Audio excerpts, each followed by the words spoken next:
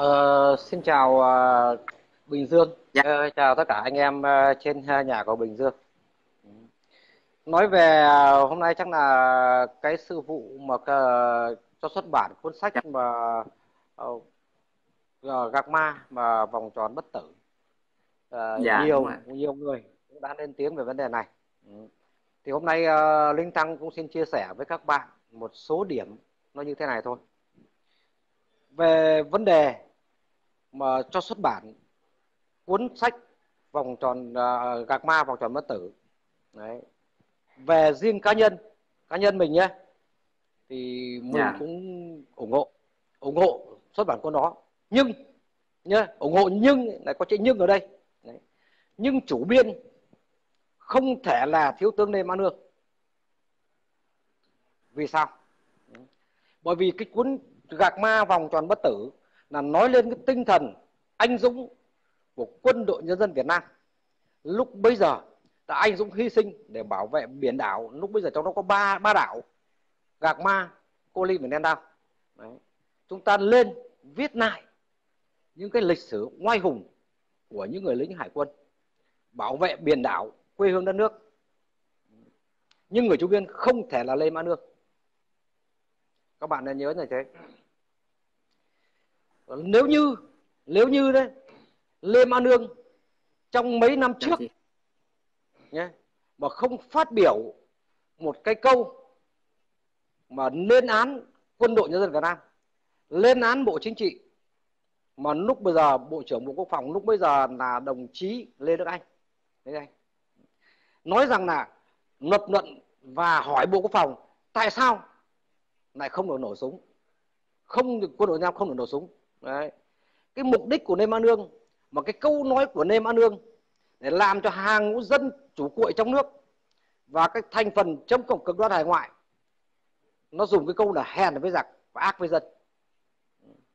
Và Lê Ma Lương là ai thì các bạn biết, là một người thiếu tướng trong quân đội nhân dân nhân dân Việt Nam, đúng không? Mà đi chụp ảnh chung với thành phần dân chủ cuội trong nước. Các bạn xem Dũng Mai rồi là dung xe ôm và những thành phần ờ, uh, logo đấy, chụp ảnh bên cạnh chúng nó. Ủng hộ chúng nó. Và hơn nữa Lê Man Nương lại ngồi chung với cái hội văn đoàn độc lập của nhà văn Nguyên Ngọc và nhà thơ uh, vừa rồi là nhà thơ gì nhỉ? Đúng nhỉ? Nhà thơ vừa rồi mà có một cái bài uh, văn của thi đại học vừa rồi đấy. Ừ, mình cũng quên ông ấy nào ông uh... mình quên rồi tí nữa mình nhớ. Đấy. Mà những người đã nói xấu và bôi nhọ hình tượng nữ anh hùng liệt sĩ võ thị sáu mình phải biết nhà văn Nguyên Ngọc là một nhà văn ngày xưa đã từng viết đến những tác phẩm bất hủ mà mọi thế hệ chúng ta phải nói theo hỏi theo nói theo. Như đất nước đứng lên, rừng xà lu, mà mọi thế học sinh chúng ta, chúng tôi hồi xưa đã đọc và rất cảm thông và rất là yêu mến tổ quốc. Cái tinh thần hy sinh của cán bộ, chiến sĩ, quân đội nhân dân Việt Nam trong những lúc bây giờ. Bởi vì cái thời gian đó là thời gian chiến tranh mà những nhà văn vào trên trường họ viết lên những cái cảm nhận thực sự của họ với tình cảnh trên trường lúc bây giờ. Đến bây giờ chỉ vì một chút lợi ích tầm thường mà những người đó quay lại và nói rằng là những năm tháng đó họ viết theo đơn đặt hàng của đảng cộng sản.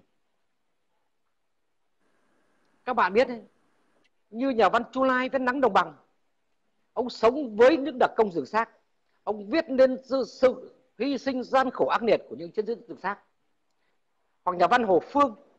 Đấy, ông viết nên tác phẩm biển gọi, nói về đoàn tàu không số. Họ có đơn hàng, đặt hàng nào đâu. Mà cái nêm ăn đương ngồi chung mâm với cái đội đấy thì chúng ta phải xét lại cái tư tưởng của nêm ăn nương cái công nêm ăn nương thì chúng ta không phủ nhận cái lời nói của Nê Mã Nương trước khi được phong anh hùng lực lượng vũ trang. Một cái câu nói đã làm khích lệ cái tinh thần hăng hái lên đường tổng quân nhập ngũ để giải phóng quê đất nước. Lúc bây giờ các bạn biết nên vẫn nói một câu là thanh niên uh, cái gì là có cái gì nhất là trong cái mặt trận chống quân thù đã khích lệ bao nhiêu những chiến sĩ những người con yêu nước lên đường nhập ngũ nhưng đến khi hòa bình đập lại tất cả cái ông đi đi ngược lại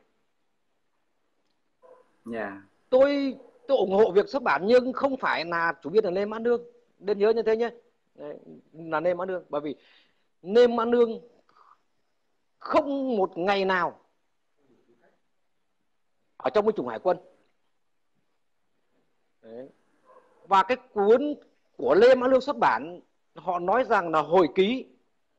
Nhưng hồi ký là gì? Hồi ký là phải những người thực tế chiến đấu tại quần đảo Hoàng Sa cái đảo Gạc Ma năm ấy. Thì mới là hồi ký đúng không? Cho nên những thiếu tướng vẫn Viên Nguyễn Thành Tuấn nói rằng là về thể loại cái cuốn sách này ấy, là một cuốn sách tạp nham không thuộc bất cứ một thể loại nào. Chúng ta ăn cái ngày 14 ngày 5 15 tháng 4 năm 1988 đó. Lê Ma Lương không có mặt tại cái địa điểm đấy ở chỗ quần đảo ờ, hoặc ờ, Trường Sa đấy cụm đảo Cô Liên, Cạc Ba và Nen Đao thế thì làm sao Lê Ma Lương mà viết hồi ký được và cái thứ hai đấy là cái chuyện mà Lê Ma Lương lên án uh, lãnh đạo quân đội nhân dân Việt Nam và đảng nhà nước Việt Nam lúc bây giờ.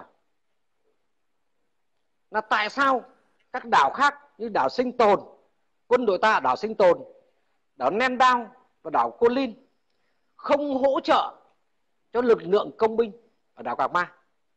Xin thưa Lê Văn đương là một ông tướng nhưng tại sao không biết được rằng cái tầm pháo nhé cái tầm pháo đấy. 85 ly. Lúc bây giờ ở đảo Cô Linh và Cạc Ma chúng ta chỉ có pháo 85 ly. Đi. Một cái tầm pháo của 85 ly làm sao có thể với tới được hơn 2 km 2 km từ cái cụm Cô Linh và Landau mà hỗ trợ cái Gạc Ma ông có biết hay không đúng không? Mà ông lên án là tại sao cái cụm đấy không hỗ trợ? Cho nên đề nghị nên thu hồi và tiêu hủy cái cuốn vòng tròn uh, bất tử gạc ma. Chúng tôi là người là quân đội cũng trải qua những năm tháng ờ, không phải nói là hy sinh nhưng đồng đội tôi cũng đã ngã xuống vì nền tự do độc lập của đất nước này để bảo vệ sự bình yên của đất nước này. Nhưng một ông tướng nê mãn hưng mà đã phát biểu một câu như thế mà làm cái tiền đề cho cái bè nó phản động. Nói chế độ ta hèn với giặc vác với dân. Chứ còn nó thêm một chữ và bớt một chữ thì ý nghĩa nó hoàn toàn khác nhau.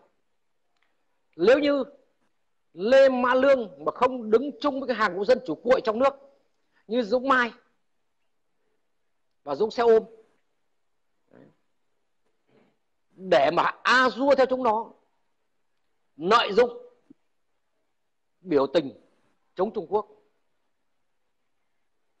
thì chúng ta không nói. Chúng tôi muốn là cái cuốn gạc ma vòng tròn bất tử, nó phải xuất bản từ lâu rồi. Nhưng chủ biên nó, tôi nói không phải là lê mã lương. Bây giờ ông có nói gì đi chăng nữa? Những cái video phát tán ở trên mạng. Bao nhiêu năm nay rồi? Chúng tôi biết ông là ai rồi? Ông ngồi chung nhà văn nguyên ngọc. Ngồi nhà văn bất mãn vì không được cái chức nọ chức kia. Không tương xứng với cái công lao của ông. Ông phản bội là nhân dân. Phản bội này chính bản thân mình. Phản bội này chính những người đồng đội, đồng chí của mình đã hy sinh anh dũng ở nơi chiến trường. Ông nói rằng võ thị sáu bị điên. Điên mà làm cho thực dân pháp phải khiếp sợ. Đã phải tử hình võ thị sáu. Và tên cai ngục nhu ở đảo, ở côn đảo. Bây giờ ông ta còn sống đây.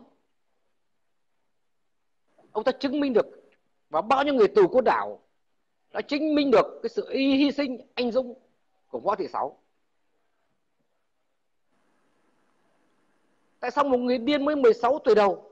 Tôi nói này này tôi bảo ông ông ông, ông Nguyên Ngọc ấy thế tại sao từ trước đến nay ông không đính chính cái chuyện đấy đi? Bây giờ ông mới mới nói. Không biết chị sao điên hay là các ông điên. Điên ở 16 tuổi đầu chị đã biết cầm súng bảo vệ quân đất nước. Điên mà chị đã chấp nhận hy sinh cái mạng sống của mình để cho thực xuất phát và kẻ thù phải khiếp sợ cái tinh thần anh dũng hy sinh của chị. Mà đến bây giờ ông mới nói. Chúng ta không phủ nhận cái câu nói của Lê Mã Lương. Nhưng Lê Mã Lương phải nói rằng là này những năm tháng 1988 xảy ra trận thảm sát Gạc Ma. Đấy. Tôi nói thảm sát Gạc Ma thì đúng hơn. Chứ còn chứ nói về Bộ Quốc phòng không cho có mệnh lệnh không cho quân đội chúng ta nổ súng. Không nổ súng. Nếu như bình thường Lê Ma Lương không đứng chung với hàng ngũ thành phần chống đối đại đất nước chống đối đại sừng biên của đất nước thì cái chữ trước cái chữ sau tôi không ke tôi không ke nhé.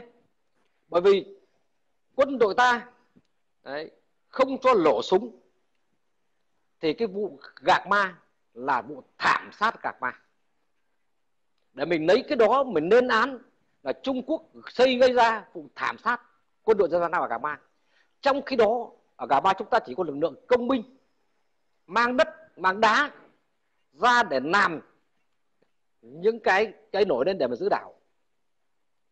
Không có súng to pháo lớn, chỉ có những con tàu chở hàng chở đá ra mà thôi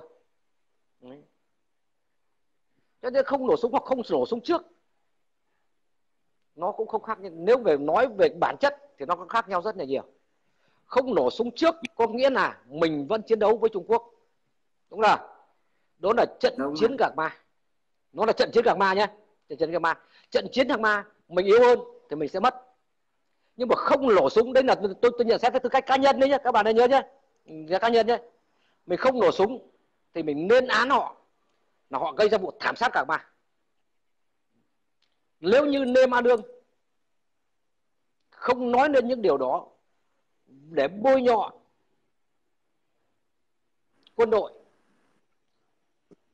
thì cái câu nói đó nó cũng không có gì phải suy nghĩ cả. Chứ còn thực ra cái quần đảo gạc ma à, cái quần đảo hoàng sa và trường sa chúng ta tranh chấp với sáu nước nó sáu nước. Ừ và tranh chấp trên biển chúng ta không giải quyết bằng chính trị được tôi thường đặt đại câu hỏi cho thiếu tướng lê ma nương nếu như lúc tao vào tình cảnh lúc bấy giờ tháng năm 1988 Đấy. năm 1988 nếu như chúng ta ở đảo Colin, Linh ở đảo Nendao và một số đảo khác chúng ta tiếp tiếp sức cho các chiến sĩ công binh ở đảo Cà Ma. Trung Quốc sẽ lợi dụng cái lúc đó đưa thêm tàu ra chiếm các đảo của chúng ta. Liệu chúng ta có giữ được những đảo đó hay không? Cho nên sự sự hy sinh anh dũng của các người đồng chí, đồng đội